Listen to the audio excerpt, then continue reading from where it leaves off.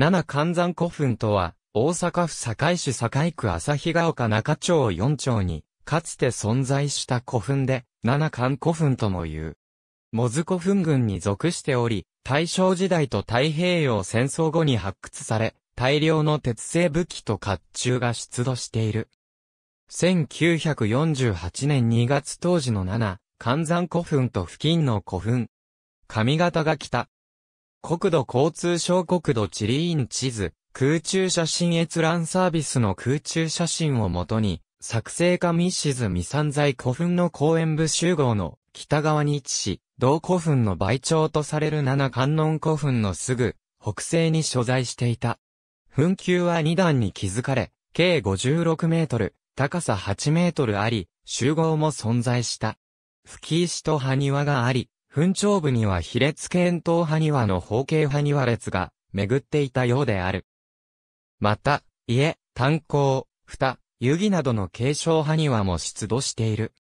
1913年1947年と、発掘、または、異物採取が行われて異物が出土しているが、1952年には、土取り工事によって消滅することになり、それに、先だって緊急の発掘調査が行われている。主体部は異物を収めた粘土核のような施設が3カ所検出されている。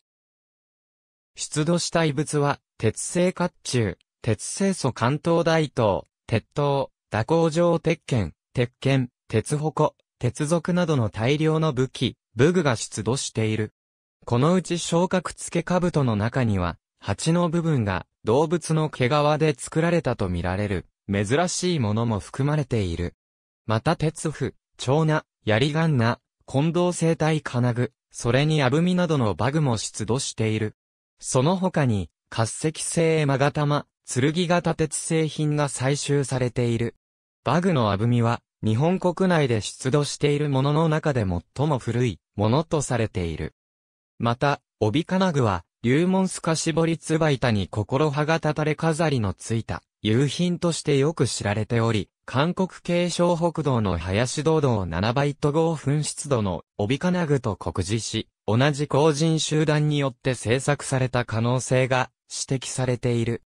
日本列島で制作されたとする説と、朝鮮半島説があるが、都金、近藤張、鋳造、炭造、タガネによる透かし彫りなどの彫金、病流技法など、当時の中国、朝鮮の最先端の金工技術が駆使されているという。なお、この帯金具は、炭鉱の腰の部分に巻き付けられた状態で出土しており、奈良県五条猫塚古墳や岡山県一本松古墳でも帯金具が同様の状態で出土しており、軍装の一部として扱われていたと考えられる。この古墳の性格としては、大量の副葬品の埋納にもかかわらず、遺体が埋葬されなかった可能性があり、倍長と考えられる古墳のあり方を示す貴重な一例となっている。